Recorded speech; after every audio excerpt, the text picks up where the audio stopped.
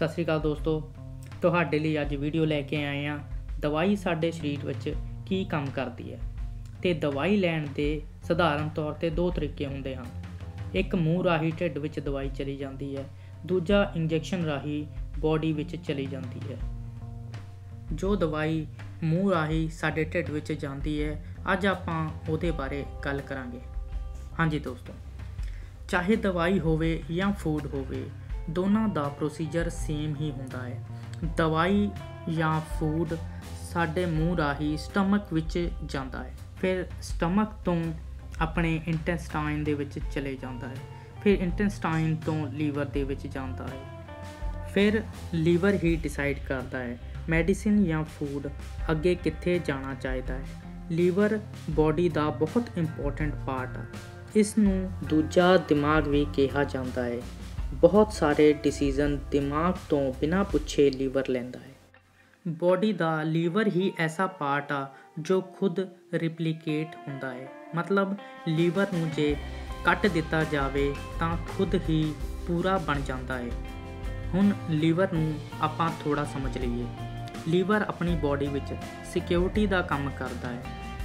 ਜਦੋਂ ਵੀ ਇੰਟੈਸਟਾਈਨ ਤੋਂ ਕੋਈ ਵੀ ਮਟੀਰੀਅਲ ਲੀਵਰ ਵਿੱਚ ਆਉਂਦਾ ਹੈ ਤਾਂ ਉਸ ਨੂੰ ਬਾਡੀ ਵਿੱਚ ਡਿਫਰੈਂਟ ਪਾਰਟ ਵਿੱਚ ਭੇਜਣਾ ਚਾਹੀਦਾ ਹੈ ਜਾਂ ਨਹੀਂ, ਇਹ ਡਿਸੀਜਨ ਲੀਵਰ ਹੀ ਲੈਂਦਾ ਹੈ। ਅੱਛਾ ਦੋਸਤੋ, ਲੀਵਰ ਨੂੰ ਕਿਵੇਂ ਪਤਾ ਚੱਲਦਾ ਹੈ?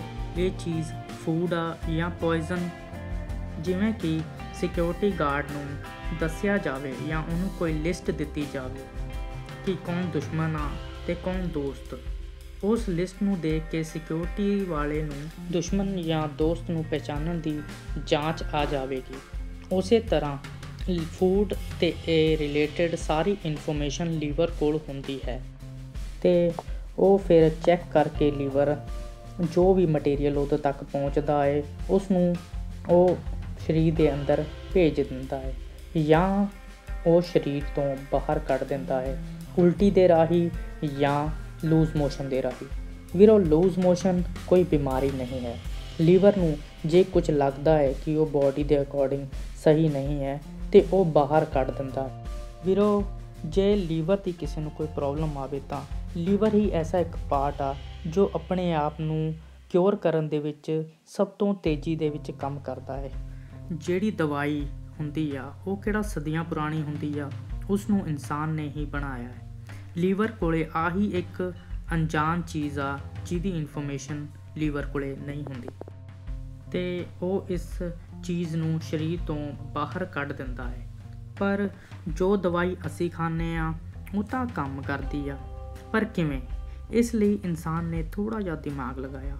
ਹੁਣ ਆਪਾਂ ਇਸ ਨੂੰ ਐਗਜ਼ਾਮਪਲ ਦੇ ਤੌਰ ਤੇ ਸਮਝਦੇ ਹਾਂ ਸੋਚ ਲਵੋ ਕਿ ਇੱਕ ਪੁਲਿਸ ਵਾਲਾ ਇੱਕ ਨਾਕੇ ਤੇ ਦੋ ਗੱਡੀਆਂ 1 ਮਿੰਟ ਦੇ ਵਿੱਚ ਚੈੱਕ ਕਰਨ ਦੀ ਕੈਪੈਸਿਟੀ ਰੱਖਦਾ ਹੈ। ਚੋਰ ਨੇ ਚਲਾਕੀ ਕੀਤੀ, ਉਹਨੇ 1 ਮਿੰਟ ਦੇ ਵਿੱਚ ਚਾਰ ਗੱਡੀਆਂ ਭੇਜਣ ਲੱਗ ਗਿਆ। ਤਾਂ ਚੋਰ ਦੇ ਅੰਦਰ ਆਉਣ ਦੇ ਚਾਂਸਸ ਥੋੜੇ ਵੱਧ ਗਏ। ਲੀਵਰ ਜਦੋਂ ਤੱਕ ਆਪਦੀ ਕੈਪੈਸਿਟੀ ਵਧਾਊਗਾ, ਉਦੋਂ ਤੱਕ ਤਾਂ ਬਹੁਤ ਸਾਰੇ ਚੋਰ ਅੰਦਰ ਆ ਜਾਣਗੇ। ਇਸੇ ਤਰ੍ਹਾਂ ਲੀਵਰ ਦੇ ਅੰਦਰ ਜਾਣ ਵਾਸਤੇ ਡਾਕਟਰ ਕੀ ਕਰਦਾ ਹੈ? ਦਵਾਈ ਦੀ ਡੋਜ਼ ਲੀਵਰ ਦੀ ਕੈਪੈਸਿਟੀ ਤੋਂ ਵਧਾ ਦਿੰਦੇ ਆ, ਜਿਹਦੇ ਕਰਕੇ 50% ਦਵਾਈ ਬਲੱਡ ਦੀ ਨਾਲੀ ਦੇ ਰਾਹੀਂ ਸਾਡੇ ਦਰਦ ਵਾਲੀ ਜਗ੍ਹਾ ਪਹੁੰਚ ਕੇ ਉਸ ਨੂੰ ਠੀਕ ਕਰ ਦਿੰਦੀ ਆ। ਕਈ ਵਾਰ ਲੀਵਰ ਆਪਦੀ ਕੈਪੈਸਿਟੀ ਨੂੰ ਹੋਰ ਵਧਾ ਲੈਂਦਾ ਹੈ, ਜਿਹਦੇ ਕਰਕੇ ਡਾਕਟਰ ਹੋਰ ਵੀ ਡਬਲ ਡੋਜ਼ ਕਰ ਦਿੰਦੇ ਆ।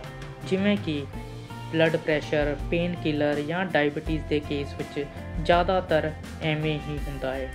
ਉਸ ਵਧਾਉਣ ਕਰਕੇ ਲੀਵਰ ਡੈਮੇਜ ਹੋ ਜਾਂਦਾ ਹੈ ਜਾਂ ਤਾਂ ਉਹ ਆਪਦੀ ਤਾਕਤ ਹੋਰ ਵਧਾ ਲੈਂਦਾ ਹੈ, ਜਿਹਦੇ ਕਰਕੇ ਦਵਾਈ ਕੰਮ ਕਰਨਾ ਬੰਦ ਕਰ ਦਿੰਦੀ ਹੈ।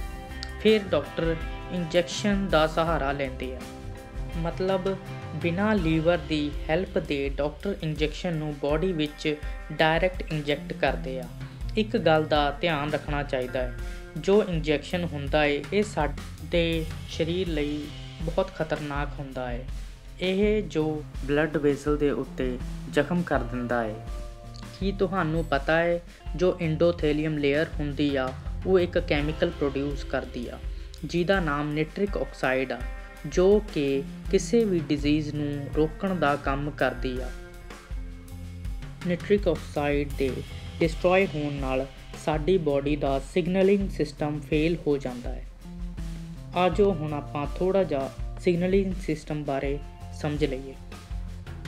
ਵੀਰੋ ਸਿਗਨਲਿੰਗ ਸਿਸਟਮ ਬਹੁਤ ਹੀ ਇੰਟਰਸਟਿੰਗ ਚੀਜ਼ ਆ। ਮੰਨ ਲਓ ਕਿ ਤੁਸੀਂ ਕੁਝ ਮਿੱਠਾ ਖਾਣ ਬਾਰੇ ਸੋਚ ਰਹੇ ਹੋ ਜਾਂ ਮਿੱਠਾ ਤੁਹਾਡੇ ਸਾਹਮਣੇ ਹੈ ਤਾਂ ਤੁਹਾਡਾ ਦਿਮਾਗ ਪਿਨਿਕਰੀਆਸ ਨੂੰ ਸਿਗਨਲ ਭੇਜ ਦਿੰਦਾ ਹੈ ਫਿਰ ਜਦੋਂ ਤੁਸੀਂ ਖਾਣ ਵੱਲ ਵੱਧਦੇ ਹੋ, ਤਾਂ ਦਿਮਾਗ ਦੂਜਾ ਸਿਗਨਲ ਭੇਜ ਦਿੰਦਾ ਹੈ ਜਦੋਂ ਤੁਸੀਂ ਉਸ ਚੀਜ਼ ਨੂੰ ਚਬਾਉਣ ਲੱਗਦੇ ਹੋ, ਤਾਂ ਦਿਮਾਗ ਤੀਜਾ ਸਿਗਨਲ ਭੇਜ ਕੇ ਬਾਡੀ ਵਿੱਚ ਇਨਸੂਲਿਨ ਸਰਕੂਲੇਟ ਕਰ ਦਿੰਦੀ ਆ, ਤਾਂ ਕਿ ਤੁਹਾਡੀ ਬਾਡੀ ਉਸ ਚੀਜ਼ ਨੂੰ ਐਕਸੈਪਟ ਕਰਨ ਵਾਸਤੇ ਤਿਆਰ ਹੋ ਜਾਵੇ। ਇਸ ਸਿਸਟਮ ਨੂੰ ਸਿਗਨਲਿੰਗ ਸਿਸਟਮ ਕਹਿੰਦੇ ਆ।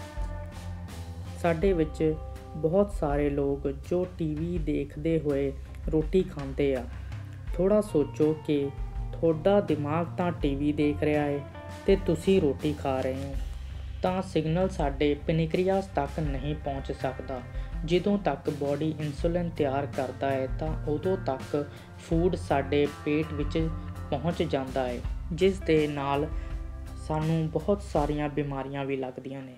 ਹਾਈ ਬਲੱਡ ਪ੍ਰੈਸ਼ਰ ਸ਼ੂਗਰ ਹੋਰ ਬਹੁਤ ਸਾਰੀਆਂ ਡਿਜ਼ੀਜ਼ ਉਸ ਵਜ੍ਹਾ ਨਾਲ ਪੈਦਾ ਹੁੰਦੀਆਂ ਨੇ। ਦੋਸਤੋ, ਕੀ ਤੁਸੀਂ ਜਾਣਦੇ ਹੋ? ਗ੍ਰੀਨ ਜੂਸ ਜੋ ਕਿ ਹਰੇ ਪੱਤੇ ਜਾਂ ਹਰੀ ਸਬਜ਼ੀਆਂ ਤੋਂ ਕੱਢਿਆ ਜਾਂਦਾ ਹੈ ਇਹ ਮੈਡੀਸਨ ਤੋਂ ਵੀ ਜ਼ਿਆਦਾ ਵਧੀਆ ਹੁੰਦਾ ਹੈ ਕੀ ਤੁਹਾਨੂੰ ਪਤਾ ਹੈ ਜਦੋਂ ਵੀ ਕੋਈ ਜਾਨਵਰ ਬਿਮਾਰ ਹੁੰਦਾ ਹੈ ਤਾਂ ਉਹ ਪੱਤੇ ਖਾਂਦਾ ਹੈ ਭਾਵੇਂ ਉਹ ਮਾਸ ਖਾਣ ਵਾਲਾ ਸ਼ੇਰ ਹੀ ਕਿਉਂ ਨਾ ਹੋਵੇ। ਦੋਸਤੋ, ਜਿਹੜੀ ਸਾਡੀ ਬਾਡੀ ਆ, ਉਹ ਮੈਡੀਸਿਨ ਖਾਣ ਵਾਸਤੇ ਨਹੀਂ ਬਣੀ ਬਿਮਾਰੀ ਦਾ ਇੱਕ ਪ੍ਰੋਸੀਜਰ ਹੁੰਦਾ ਹੈ ਸਾਡੀ ਬਾਡੀ ਉਸ ਨੂੰ ਖੁਦ ਹੀ ਠੀਕ ਕਰਨ ਦੇ ਕਾਬਿਲ ਹੁੰਦੀ ਆ। ਜੇ ਆਪਾਂ ਆਪਦੀ ਰਹਿਣੀ ਸਹਿਣੀ ਠੀਕ ਰੱਖੀਏ ਤਾਂ ਬਹੁਤ ਵਧੀਆ ਗੱਲ ਹੈ। ਮੈਡੀਸਿਨ ਸਿਰਫ ਬਿਮਾਰੀ ਦੇ ਸਿੰਪਟਮ ਨੂੰ ਠੀਕ ਕਰਦੀ ਹੈ, ਪਰ ਫੁੱਲੀ ਕਿਉਰ ਨਹੀਂ ਕਰਦੀ।